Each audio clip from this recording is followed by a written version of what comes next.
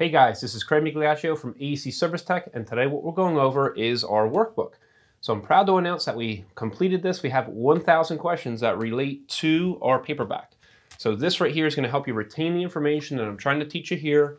And for instance, questions like this where you're you're trying to read the target superheat and then read what the superheat is, and you're also checking your subcooling. You're determining is the unit overcharged, undercharged, correct charge, and then you're looking at tasks like do I need to recover refrigerant? Do I need to add refrigerant? We have other questions where you're just checking the superheat, you're just checking the subcooling.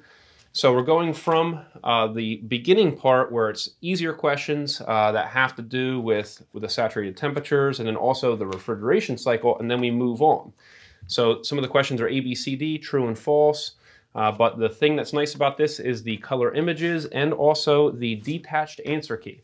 So a lot of workbooks have answers either in the back upside down or maybe they don't have answers at all and you only have them in a teacher's edition.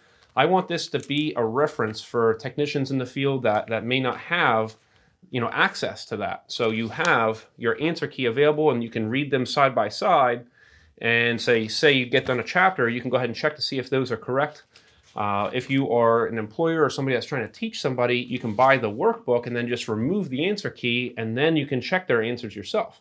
So there's a couple different uh, ways you can use this. So that's nice, but this is available over at Amazon and also at our website at acservicetech.com. And we also uh, have our quick reference cards, so you should check those out as well.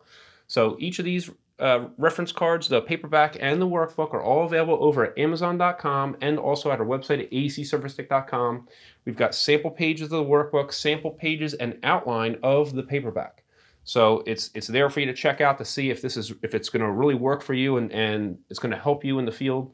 So so I hope it does. So hope you enjoyed yourself. We'll see you next time at AC Tech channel.